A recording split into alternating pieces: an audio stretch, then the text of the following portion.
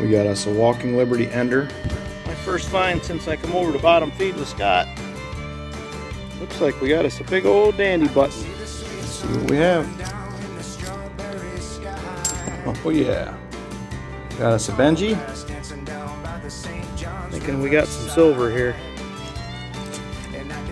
Oh no, it's not.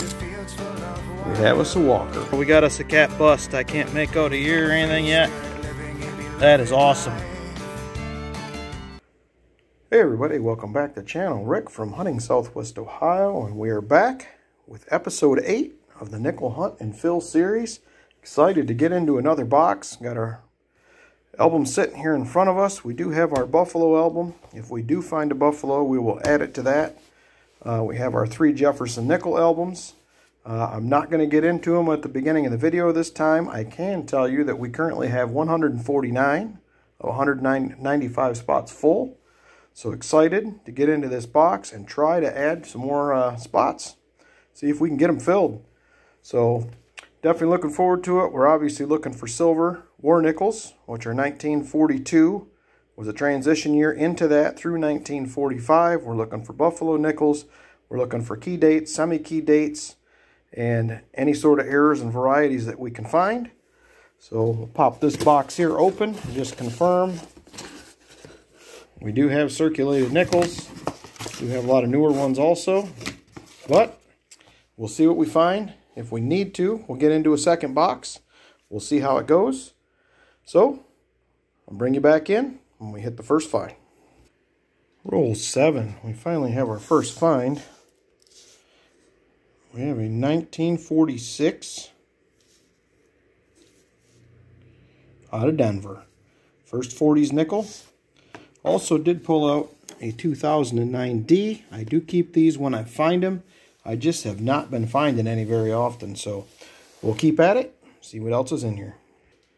Same roll, we have our second 40s dime. We have a 1940. That will be out of Philly. Roll 9. And we have our first 50s nickel of the hunt. And it is a 1951 51S will be a semi-key date. And it is. 51S, we have one. It's a nice shape. And I'm thinking we need this for the book. That will be awesome. All right. See you on the next find. Roll 13. We have our second 50s nickel. It's a pretty nice one. Got a 1959 out of Denver. We'll take it. See you on the next one. Roll 14. 50s nickel number 3. It is a 1954 out of Philly. Roll 15. And we have 40s nickel number 3. We have a 1947 out of Philly. Same roll, we have our fourth 50s nickel, and it is a 1955 and it's going to be a Denver. I was hoping for that Philly for another semi-key, but we'll take it. Roll 18. 40's nickel number 4 of the hunt. We have a 1940 out of Philly. Roll 20. I just cracked this roll open and I pushed it down. And there it is. We got us a buffalo. But what I also noticed we got a second one in the same roll. That is awesome. First time for that. Two buffaloes in the same roll. Let's take a peek at this first one, see what we have. I don't know if I'm going to get a date. We'll take a look under the scope. And do not see a mint mark. We'll double check that.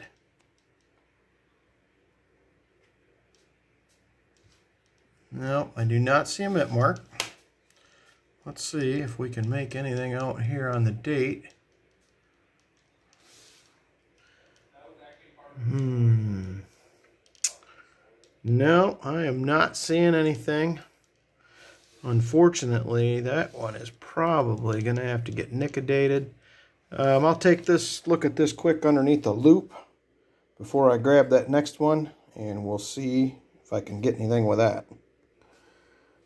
No, I don't. I can't get anything on this first one. We'll end up nickodating this at the end. Let's take a peek at this next one. See if we have anything on this. And I do not see a mint mark again. But we do have a date. And that is 1920, I think. It's kind of hard to make it out, but it's there. Nope, that's going to be 1930. Let's double check that mint mark to confirm. And nope, no mint mark. 1930 out of Philly.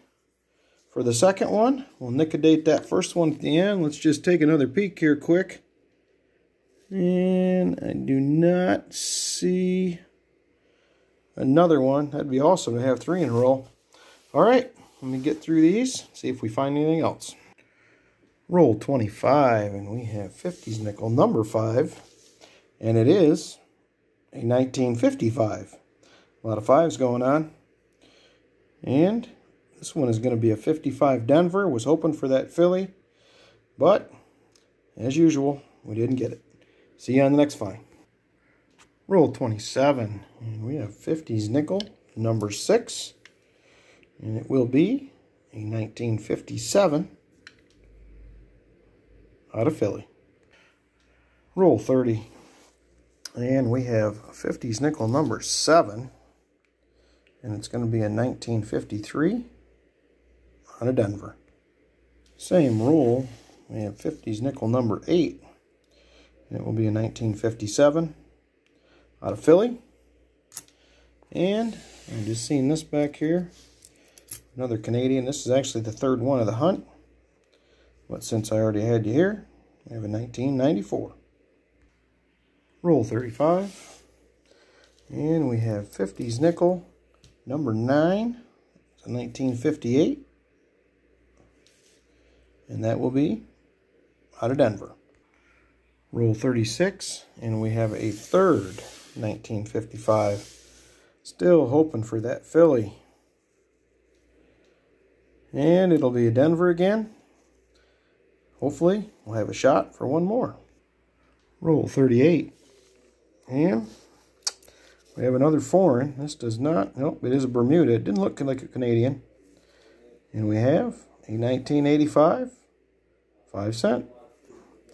Pretty cool. See you on the next find. Roll 40. And we have 50s nickel, number 11. It will be another 59 out of and two nickels later, we have another 1959. And this one will be out of Philly. Roll 41. And we just uncovered a 1939 nickel. It is pretty war, which most likely means there will not be a mint mark, but let's find out. And it will be a Philly. We'll go ahead and check this for the doubling. And you should see that on the Monticello and 5 cents, and it is not there. So, we'll just have us a plain old 1950 or 1939 Philly. Roll 44. And we have 40s nickel, number 6. It is another 1940 out of Philly. Roll 47. And we have 40s nickel, number 7. It is a 1948. Could we go for another semi-key? 48S would be a semi-key. And it will be a Philly, but I will take another 40s nickel. Roll 49, and we have 50s nickel number 13.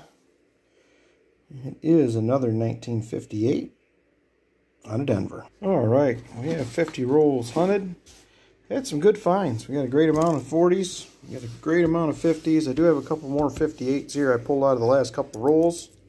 I did not bring in for. Did find a couple of 09Ds, which is uh, something I haven't been seeing much of is 09s in general. I usually do hang on to these, um, but I just haven't been finding them recently. Uh, we got three Canadians, and then we got that coin that was from Bermuda. 1985 with the fish on the back. Pretty cool. And our two buffaloes, I'm going to go ahead get us a date on this one, and I will bring you back in shortly. All right, we have got our date. Use the handy Nic-A-Date here. You can find this online. Wizard Coin Supplies, where I usually buy it from. So, good stuff. Definitely works great. Um, so we got a date. Here's that other one. We have a 1917. And there is no mint mark, so it's a 1917 Philly. So we're going to go ahead, get into the albums, see what we can add. I'll bring you back with the first one. All right, I'm excited. I'm back with our Buffalo book, which is our 1913 through 1938, the years that they were minted. And we got a couple more additions. So we found 10 Buffaloes, 10 additions to the book so far. We have that 1917 Philly. Go ahead and get that plugged in. And we have that 1930 Philly. Two more finds. We got 10 Buffaloes in the album. We'll take that. All right, let's get into book one of the Jefferson Nickels. All right, we are back with book number one for our Jefferson Nickels, which is our 1938 through 1961D.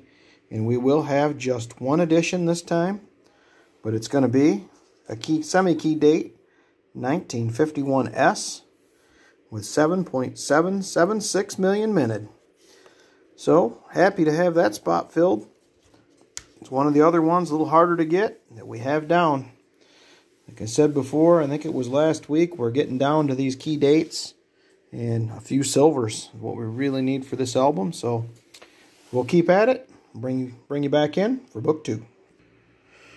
All right, we're back with book two, and this is our 1962 through 1995D. And we're going to have four upgrades and two additions this time around. We're going to add a 1973 Philly. We're also going to add a 1977 Philly. And for upgrades, we're going to upgrade a 1970D. We're going to upgrade a 75D. We're going to upgrade a 78 and we're going to upgrade an 87P. Uh, the 87P is quite a bit better. The others are slightly better, basically just less scratches uh, on the face or the obverse. So let's go ahead and get these swapped out and we will get into book three. Book three, 1996P through 2024. And we're going to have two additions, and we're going to have an upgrade. We're going to add a 2001D. And we're also going to add a 2004D, the Peace Medal. And over here we'll have an upgrade of a 2017D. Obviously much better mint luster and definitely less scratching. So swap that out. And I will be right back with the total. So where do we stand? All right, after tallying everything up for our Jefferson albums, our three Jefferson albums, we're at 155 out of 195 spots, so that's awesome. Uh, we're closing in. Uh, we got about 40 spots to fill. And for our Buffalo album that we've added, we have 65 spots in this album, we currently have 10 spots full. So we've made great progress on this in the four hunts, I think, since I've had it. So very exciting. So can't wait to get into the next box. But I appreciate everybody coming along. Remember to give it a big thumbs up, hit that subscribe button, and we will see you on the next hunt.